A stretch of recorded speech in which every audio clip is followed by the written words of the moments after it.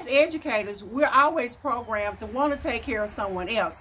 But we have to remember that in order to take care of someone else, we have to make sure that we're taking care of ourselves. Let's talk about taking a nap. Who doesn't love a nap? I know I do.